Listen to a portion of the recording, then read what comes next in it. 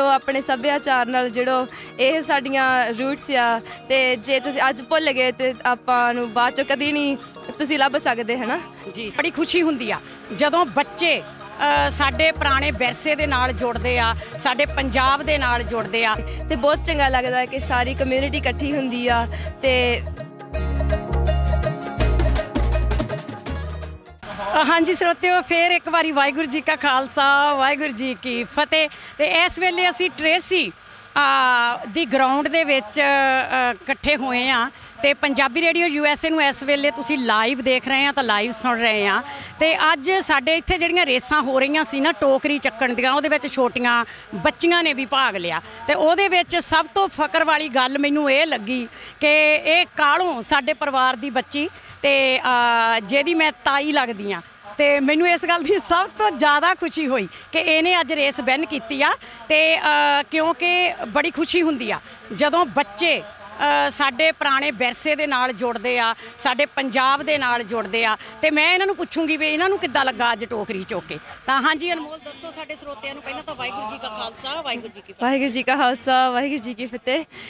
ਇੱਥੇ ਅੱਜ ਅਸੀਂ ਬਹੁਤ ਵਧੀਆ ਇਵੈਂਟ ਕੀਤਾ ਆ, ਉਹਦੇ ਵਿੱਚ ਬਹੁਤ ਸਾਰੇ ਬੱਚਿਆਂ ਨੇ ਭਾਗ ਲਏ ਤੇ ਬਹੁਤ ਚੰਗਾ ਲੱਗਦਾ ਕਿ ਸਾਰੀ ਕਮਿਊਨਿਟੀ ਇਕੱਠੀ ਹੁੰਦੀ ਆ ਤੇ ਕਿਸੇ ਸਾਰਿਆਂ ਨੂੰ ਪਤਾ ਲੱਗਦਾ ਕਿ ਆਪਣੇ ਸੱਭਿਆਚਾਰ ਬਾਰੇ ਤੇ ਨਾਲੇ ਗੱਤਕਾ ਖੇਡੀ ਦਾ, ਕੀਰਤਨ ਕਰੀਦਾ ਤੇ ਤੇ ਟ੍ਰੇਸੀ 'ਚ ਬਹੁਤ ਚੰਗਾ ਲੱਗਦਾ ਕਿ ਅਸੀਂ ਇੱਕ ਇਵੈਂਟ ਬਣਾਇਆ ਤੇ ਸਾਰੇ ਇੱਥੇ ਇਕੱਠੇ ਹੁੰਦੇ ਆ।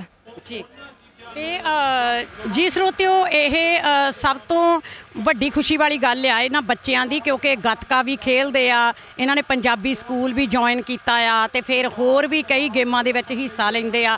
ਤੇ ਕਹਿੰਦੇ ਹੁੰਦੇ ਆ ਸਭ ਤੋਂ ਜ਼ਿਆਦਾ ਇਹ ਫਕਰ ਵਾਲੀ ਗੱਲ ਹੁੰਦੀ ਆ ਕਿ ਜਦੋਂ ਬੱਚੇ ਆਪਣੇ ਮਾਂ-ਬਾਪ ਦਾ ਨਾਮ ਰੋਸ਼ਨ ਕਰਦੇ ਆ ਤੇ ਸਭ ਤੋਂ ਜ਼ਿਆਦਾ ਗੱਲ ਆ ਕਿ ਟ੍ਰੇਸੀ ਦਾ ਨਾਮ ਰੋਸ਼ਨ ਕਰਦੇ ਆ। ਤੇ ਹੁਣ ਥੋੜੇ ਦਿਨਾਂ ਦੀ ਗੱਲ ਆ ਕਿ ਇਹ ਐਲਏ ਤੋਂ ਟਰੋਫੀਆਂ ਵਿਨ ਕਰਕੇ ਆਏ ਆ ਗੱਤਕੇ ਦੇ ਵਿੱਚ। ਤੇ ਤੁਸੀਂ ਕੁਝ ਹੋਰ ਕਹਿਣਾ ਚਾਹੋਗੇ ਆਪਣੇ ਸਾਡੇ ਸਰੋਤਿਆਂ ਨੂੰ? ਜੀ ਬਸ ਕਿ ਤੁਸੀਂ ਸਿੱਖੀ ਨਾਲ ਜੁੜੋ ਆਪਣੇ ਸੱਭਿਆਚਾਰ ਨਾਲ ਜੁੜੋ। ਇਹ ਸਾਡੀਆਂ ਰੂਟਸ ਆ। ਤੇ ਜੇ ਤੁਸੀਂ ਅੱਜ ਭੁੱਲ ਗਏ ਤੇ ਆਪਾਂ ਨੂੰ ਬਾਅਦ ਚ ਕਦੀ ਨਹੀਂ ਤੁਸੀਂ ਲੱਭ ਸਕਦੇ ਹਨਾ? ਜੀ ਜੀ। ਜੇ ਚੀਜ਼ਾਂ ਨਾਲ ਜੁੜਨਾ ਚਾਹੀਦਾ ਸਾਨੂੰ। ਜੀ। ਤੇ ਜੀ ਸਰੋਤਿਓ, ਇਹ ਸੀਗਾ ਬਹੁਤ ਵਧੀਆ ਬੱਚੀ ਦਾ ਸਨੇਹਾ ਸਾਡੇ ਬੱਚਿਆਂ ਨੂੰ ਆਉਣ ਵਾਲੀਆਂ ਪੀੜ੍ਹੀਆਂ ਜਿਹੜੀਆਂ, ਜਿਨ੍ਹਾਂ ਨੇ ਸਾਡਾ ਵਿਰਸਾ ਸੰਭਾਲਣਾ।